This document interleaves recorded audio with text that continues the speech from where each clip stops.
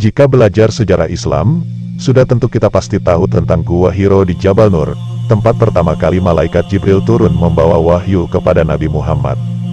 Jabal Nur terletak kurang lebih 6 km di utara Masjidil Haram, Mekah Al-Mukarramah. Di Gua Hiro inilah tempat Nabi Muhammad menyendiri, merenungi, atau tafakur peristiwa-peristiwa yang terjadi di dalam kehidupannya. Rasulullah sering melakukan perkara tersebut selama tiga tahun terutama di bulan Ramadan. Pada tahun ketiga, Baginda menyendiri di Gua Hiro.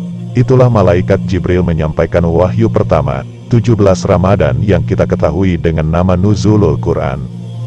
Di Madinah, juga terdapat sebuah gua bersejarah yang menjadi tempat Rasulullah sholat, bermunajat, menyendiri dan bertafakur, yang dinamakan Gua Bani Haram.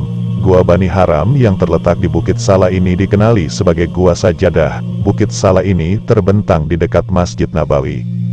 Dikatakan bahwa Rasulullah pernah beristirahat tinggal dan bermalam di dalam gua tersebut semasa Perang Handak. Semasa Perang Handak, seorang sahabat Rasulullah yaitu Muas bin Jabar mencari baginda yang dikatakan sedang beristirahat di Gua Bani Haram. Setelah Muas bin Jabar naik ke Gua Bani Haram, beliau mendapati Rasulullah sedang sujud. Muas bin Jabar lalu menunggu baginda menyempurnakan sujudnya hingga selesai. Namun begitu, Muas menjadi bimbang dan takut karena baginda sujud begitu lama sehingga Muas mengira baginda telah wafat. Setelah Rasulullah bangun dari sujud, Muas bin Jabar segera memberitahu perasaan takutnya, karena mengira Rasulullah telah meninggal dunia, dikarenakan sujudnya yang sangat lama.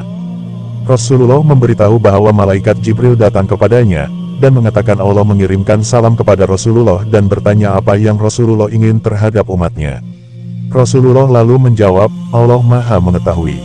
Tidak lama kemudian, Malaikat Jibril kembali membawa berita gembira yang berbunyi, Allah tidak akan mencelakakan, atau mengecewakan kamu, dalam hal umatmu. Setelah Rasulullah mendengar kabar tersebut, Rasulullah pun terus sujud syukur.